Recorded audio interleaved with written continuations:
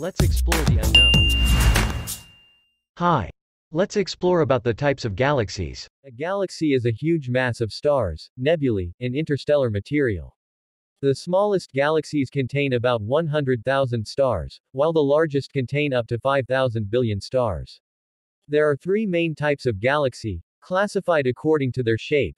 Elliptical, which are oval-shaped, spiral, which have arms spiraling outwards from a central bulge, those whose arms spiral from a bar-shaped bulge are called spirals, and irregular, which have no obvious shape. Sometimes, the shape of a galaxy is distorted by a collision with another galaxy. Quasars, quasi-stellar objects, are thought to be galactic nuclei, but are so far away that their exact nature is still uncertain. They are compact, highly luminous objects in the outer reaches of the known universe, while the furthest known ordinary galaxies are about 12 billion light-years away, the furthest known quasar is about 13 billion light-years away.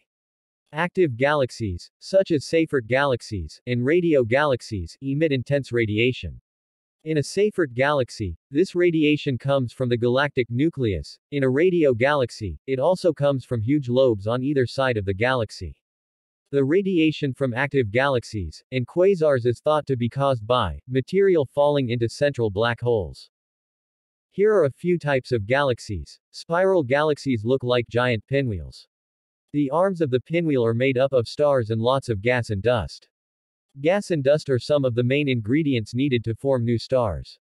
Young stars burn much hotter than older stars, so spiral galaxies are often some of the brightest in the universe.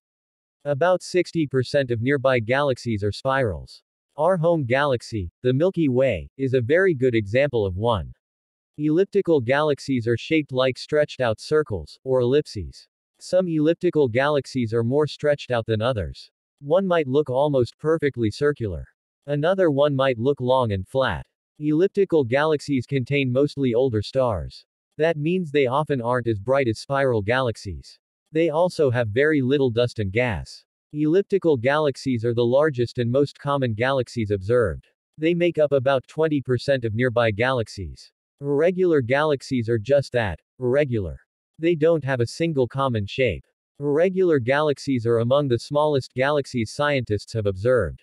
However, they can also be very bright. Like spiral galaxies, irregular galaxies are often filled with gas, dust, and lots of bright young stars. About 20% of nearby galaxies are irregular galaxies. Quasars are compact areas in the center of a galaxy. They give off enormous amounts of energy. Quasars are actually some of the brightest objects in the universe. There are no quasars near our Milky Way. Let's explore the Milky Way galaxy in the next video. Like share and subscribe our channel. Stay tuned for the next video.